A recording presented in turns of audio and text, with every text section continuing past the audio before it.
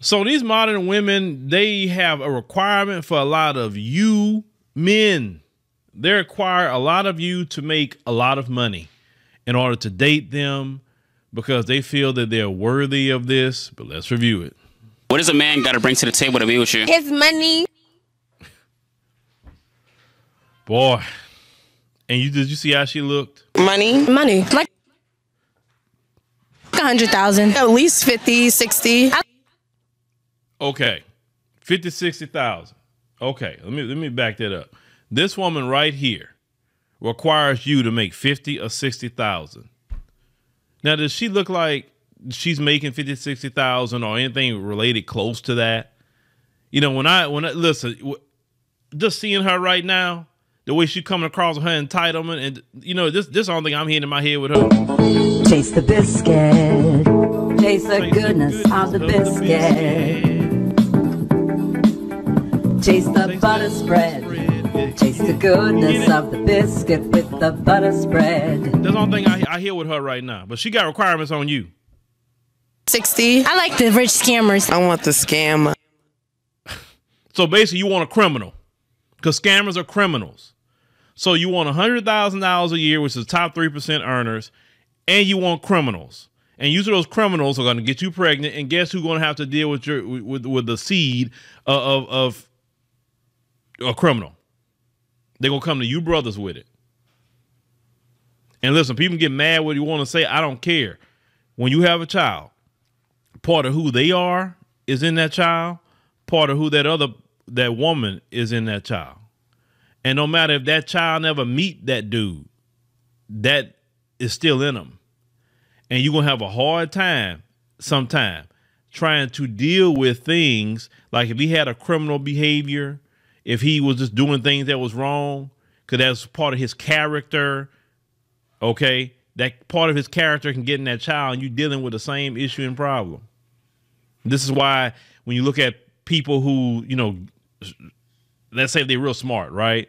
And they get the wife is smart, the husband is smart, you know, they have a good, you know, they study a lot, they do whatever. What happens sometimes to their kids? Not all the time, but their kids can come out that way. Just saying. That's fast money. I need all his money. He need Oh, God. She need all his money. Her. She need your money. How many of y'all want to want to date her? to get that trap money. He's got to be a millie. You mean? Millionaire. She not worth it either. Let, let, let's let's let's go let's go back to, to that that chick. Let's go back to her right here. This one. She not worth anything either. A millionaire. So so you deserve the top one percent. I deserve. I deserve to be. This female says she deserves the top 1% of earners in the United States of America. Her. She don't even qualify for, for the for the bottom of earners. She don't qualify. She look like she barely got an education. But this is a delusion what a lot of men talking about. All that whole cast of characters, no matter who they are, not worth anything once again, it goes back to that transactional relationship that we were talking about on here that a lot of these modern American women are on. Everything's a transaction to them. You know, I mean, like you go in the store, buy something, you get something out the deal, like that. They're not about giving anything. And and the key to this transactional relationship these modern women have, the root of it is selfishness, fellas. It's selfishness. They're selfish.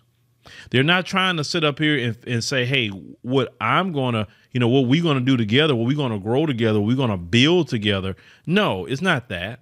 It's about gimme, gimme, gimme, gimme, gimme. That's it. In, a, in the process, you be saying, gimme, gimme, gimme, gimme, gimme.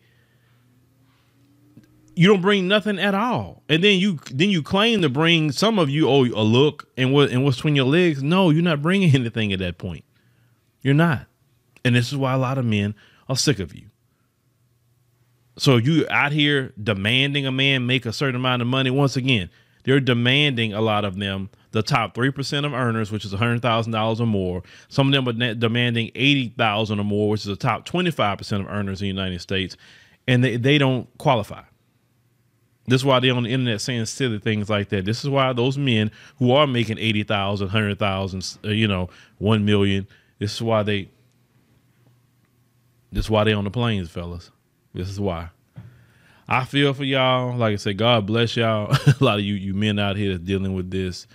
And, you know, some of the women that make comments, you know, you say you're not that way. I always say that you got to stand out of the crowd. Uh, you need to be loud and you need to be proud and let these men know, you know, you're out there and you want to be picked and you want to get married.